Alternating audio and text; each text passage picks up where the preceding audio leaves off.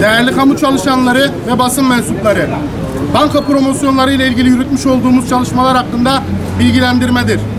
Bizler eğitim alanında örgütlü 9 sendika temsilcileri olarak aylardır yürütmekte olduğumuz banka promosyonları ile ilgili süreçte yeni bir aşamaya geldiğimizi geçen hafta yaptığımız basın açıklamasıyla duyurmuştuk.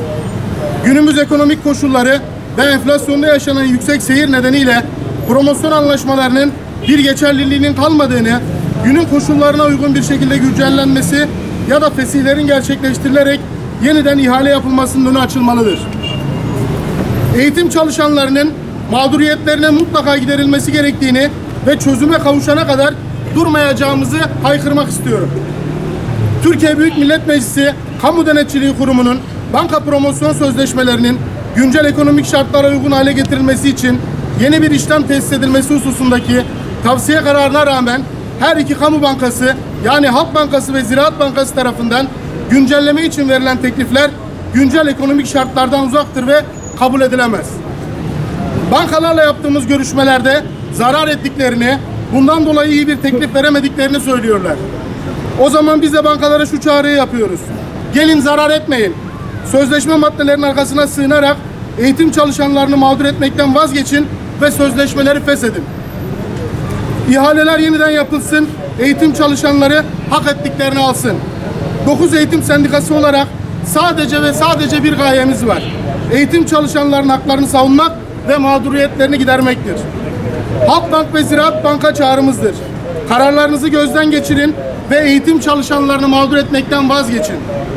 İl Milli Eğitim, Haliliye ve Eyüp İlçe Milli Eğitim Müdürlüklerine çağrımız, günün koşullarına uygun olmayan, eğitim çalışanlarını memnun etmeyecek teklifleri kesinlikle kabul etmemeleri ve yeniden ihaleye çıkmak için ihale sürecini bir an önce başlatmasıdır. Aldığımız eylem kararlarını kararlılıkla uygulamaya devam edeceğiz. Maaş ve ek ders hesaplarımızı boşalttık ve boşaltmaya devam edeceğiz. Bugünden itibaren aldığımız yeni kararla kredi kartlarımızı kullanmıyor ve iptal ediyoruz. Tüm eğitim çalışanlarına çağrımızdır. 9 eğitim sendikası olarak eğitim çal- çalışanlarının taleplerine kulak tıkayan bankaların kredi kartlarını bugünden itibaren iptal edelim. Devamında aşağıdaki eylem planımızı uygulamaya koyacağız. 1. Açık hesap yani avans hesaplarımızı kapatıyoruz. 2. Otomatik ödeme talimatlarımızı iptal ediyoruz. 3. Yatırım ve bireysel emeklilik hesaplarımızı diğer bankalara taşıyoruz. 4. Halkbank ve Ziraat Bank Genel Müdürlerinin e-postalarına mağduriyet ve protestolarımızı iletiyoruz. İki kam- kamu bankası tarafından biz kamu çalışanlarına reva görülen bu durumu kınıyor, bahsi geçen protokoller çerçevesinde maaş ödemesi alan üyelerimizi ve tüm kamu çalışanlarını eylemlerimiz konusunda güçlü bir desteğe davet ediyoruz.